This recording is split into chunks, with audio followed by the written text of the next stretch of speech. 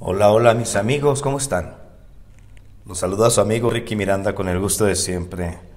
Eh, no sé, en esta ocasión quisiera de algún modo especial eh, hacerlos que se hagan una pregunta en sus mentes, que se cuestionen aquellos que son creyentes y no creyentes de lo paranormal. ¿Tú crees que sigue teniendo vigencia, que sigue teniendo actualidad esa práctica antigua de la brujería? ¿De la hechicería tal vez? ¿Crees en todas esas historias que cuentan de bolas de fuego y de personajes que se dedican a hacer el mal a través de conocimientos ocultos? Bueno, pues en esta ocasión les vengo a traer un relato concerniente a este tema. Este relato nos ha sido enviado por parte de una suscriptora del canal que pues de un modo muy especial tuvo esta vivencia a través de su familia. Eh, voy a conservar el anonimato de esta persona.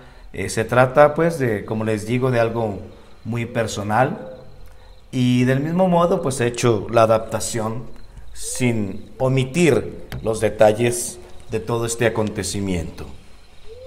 Este relato se titula La bruja de Milpillas. Esta historia sucedió hace varias décadas en la comunidad de Milpillas, Jalisco, que en otros tiempos fue una de las haciendas más extensas de la región. Como les digo, voy a conservar el anonimato de quien me envió este relato y del mismo modo trataré o he cambiado el nombre de sus protagonistas. La mencionada hacienda fue propiedad de la familia Martán, que fueran inmigrantes y terratenientes de ascendencia europea y quisieron prosperar esas tierras que en un tiempo se caracterizaban por tener ingenios azucareros y una creciente producción agropecuaria. Todo era bonanza y riqueza para estos hacendados. Bueno, Así nos remontaremos a la década de los años 40 del siglo pasado. Fidel, quien fuera el abuelo de quien nos narra este cuento, esta historia, era el caporal de la hacienda. Era la mano derecha del patrón y vivía en una pequeña casa en los terrenos adyacentes a la casa grande. Tenía una familia conformada por su esposa Marcelina y dos hijos procreados hasta ese momento. Después de cumplir con sus labores, que consistían en apoyar al patrón en los trabajos administrativos de pagar a los peones, almacenar correctamente las cosechas y el cuidado del ganado, este hombre se aprestó para descansar. Era un personaje muy apreciado entre los campesinos por su calidad humana y buen trato que tenía con propios y extraños.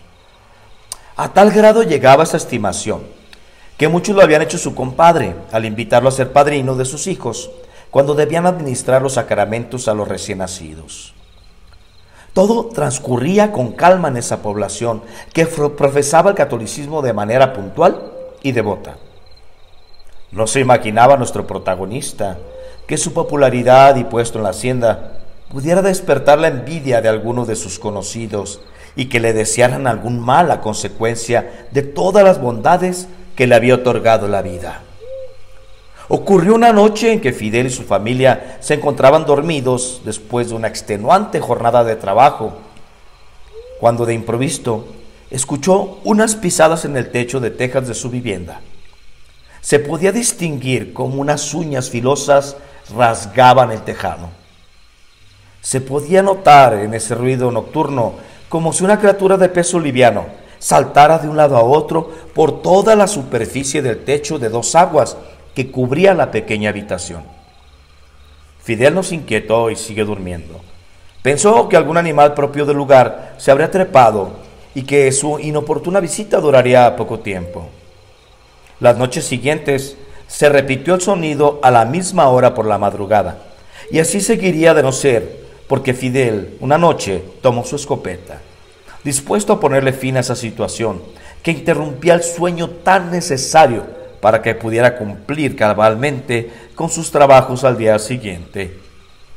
Salió del cobertizo acompañado de una lámpara de petróleo y su rifle calibre 22. Fidel era famoso por su buena puntería cuando se iba de cacería a cazar huilotas, que son unas aves muy cotizadas por su sabor, pero que también tienen fama de ser muy escurridizas. Se aprestó para darle un susto al animal que le habría hecho pasar esas noches de insomnio y desvelo. Fidel no era supersticioso, pero le tenía respeto a las historias que hablaban de aparecidos y brujas, todo eso que contaba la gente. Todo estaba oscuro en esa noche fría del mes de enero. Fidel trataba de enfocar su visión, que de a poco se fue acostumbrando a la oscuridad. A pesar de su esfuerzo no pudo ver nada en el tejado. Ya estaba a punto de volver a sus aposentos, cuando de manera súbita escuchó a sus espaldas un sonido que le era del todo conocido. Era ese característico glugloteo que hacen los guajolotes. El ruido de momento lo sobresaltó al romper la calma de aquella noche. Con curiosidad, se puso a buscar el ruido y no paró hasta ver en la cima de un enorme roble a un pavo que lo miraba Era un ave de enormes proporciones, con la cabeza arrugada llena de pliegues, pero con unos ojos de un color rojo encendido. Fidel se dio cuenta inmediatamente que ese animal era el mismo que cada noche volaba hasta el techo de su hogar, por lo que tomando su rifle, y a pesar de la oscuridad reinante, le apuntó disparando certeramente al pavo, el cual cayó desde las alturas y quedando a los pies del caporal de la hacienda.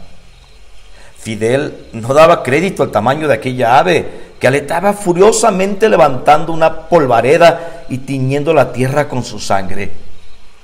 La, la bala le había penetrado un muslo, haciéndolo sangrar copiosamente, pero seguía vivo, por lo que Fidel lo agarró con mucha fuerza a pesar de sus aleteos y piquetes del guajolote, le fue posible llevarlo a una troje donde guardaba la semilla y encerró ahí al ave de corral.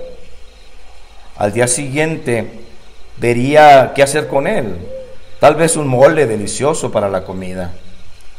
Por un rato se siguió escuchando al pavo desesperado por su encierro y luego se quedó callado como si estuviera resignado a su suerte.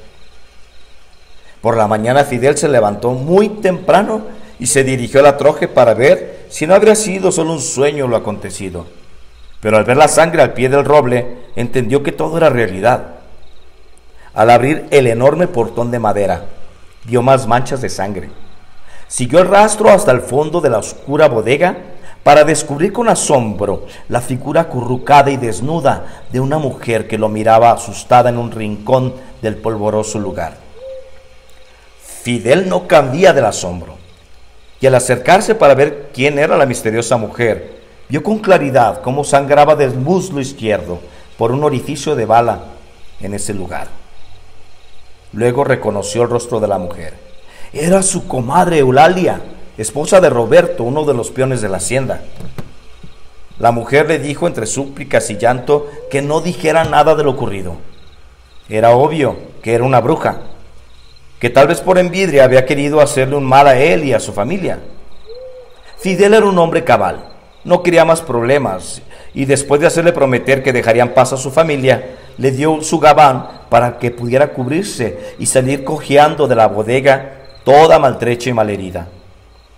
La bruja Eulalia había tenido su lección. No se metería con Fidel, pues tenía temor de ser denunciada. Fidel volvió a su casa y le dijo a su esposa que no quería que volviera a tener tratos con su comadre Eulalia y que no hiciera preguntas. Desconcertada Marcelina se quedó con la duda de las razones hasta que al correr los años Fidel le revelaría que su comadre era una malvada bruja con el poder de la transformación. Esta historia transcurrió a la siguiente generación. Y es así como recientemente nos, ha sido revelada con la condición de no publicar los nombres verdaderos del hombre y de la bruja.